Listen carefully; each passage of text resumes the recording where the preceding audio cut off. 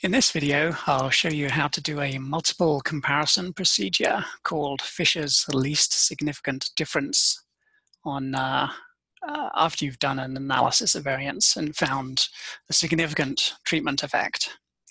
So if we revisit this uh, Chemitech example, so this was three different methods that we used and uh, the measurement of the number of units that were assembled each week.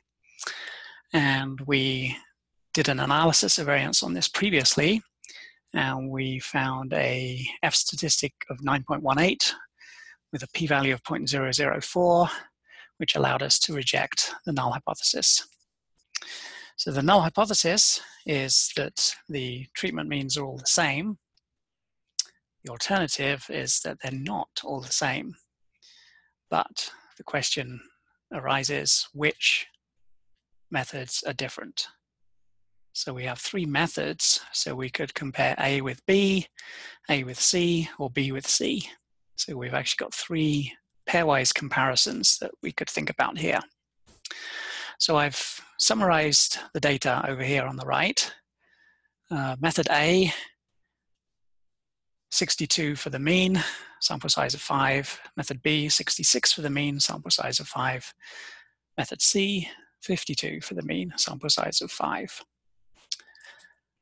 Okay, so the way that Fisher's least significant difference procedure works is to first of all calculate the absolute difference in the means for each pairwise comparison. So between A and B, we're calculating the difference between 62 and 66 for A and C, it's the difference between 62 and 52, and then for B and C, between 66 and 52. Then we calculate a, a threshold or a critical value for the comparisons. And the formula for this uh, looks a little bit complicated. Uh, it uses the t distribution the t distribution with 12 degrees of freedom and using the alpha of 0.05.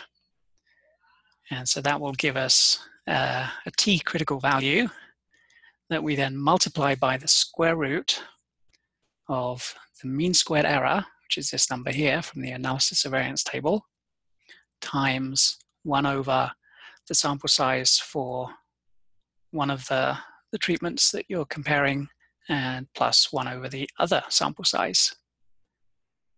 And put all that together and you get 7.33.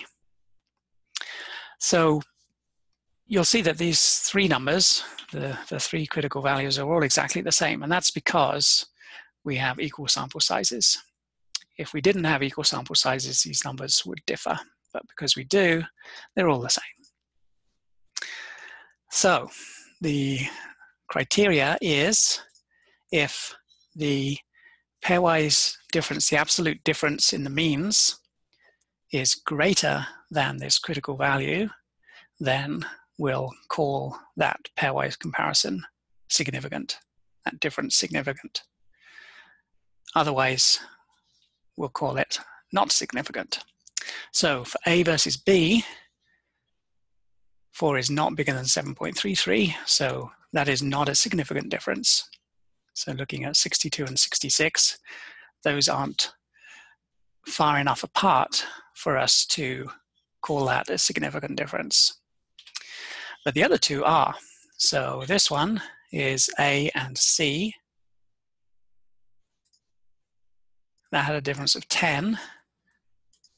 That was 62 and 52. So those are far enough apart that we call this a significant difference.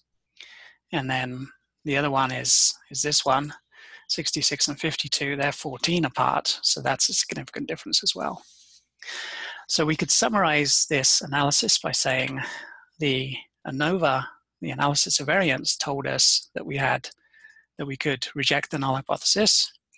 And that tells us that not all the treatment means are the same, and then when we did this pairwise comparison procedure, Fisher's least significant difference pairwise comparison procedure, we found that there was no significant difference between A, and B, but there is a significant difference between A and C and between B and C.